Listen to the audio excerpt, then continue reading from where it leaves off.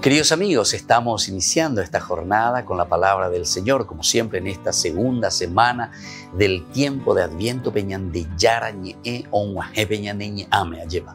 Apea la yerurea peñan de yara pica tu jamán poco ¿verdad? Que nos cambie, que nos salve, porque Isaías quiere decir Dios, Yahvé es salvación. Escuchamos a este profeta Isaías del capítulo 35 del 1 al 10, ley motif idea central verán la gloria de Dios. Toda esta segunda semana nos habla de la gloria, hacia dónde caminamos.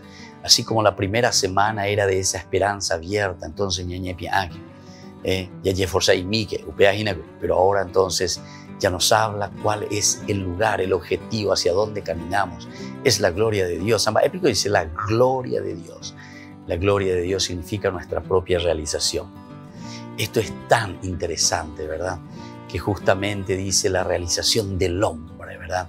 Eh, la conversión del hombre, la felicidad del hombre es la gloria de Dios.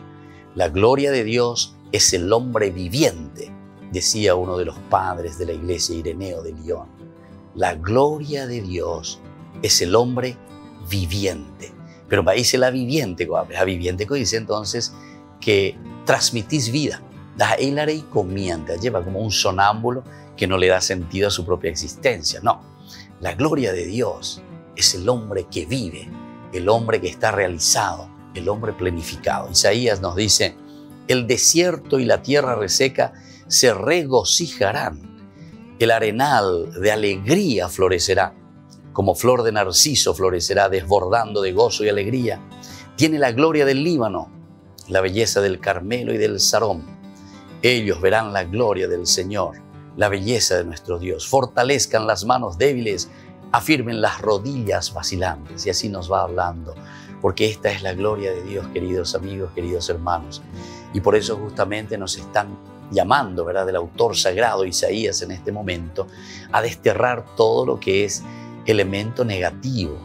Eh, peñandere ya beguire ya es Diga, tú la ñanemon nahi beguire. Ñapuana, ñamaña, lleva esa peñan de yara ñandere y eso significa levantarse, el caminar, el tener ideales, significa la gloria de Dios en nuestra existencia. Y que la bendición de Dios descienda sobre ustedes, el Padre y el Hijo y el Espíritu Santo. Amén.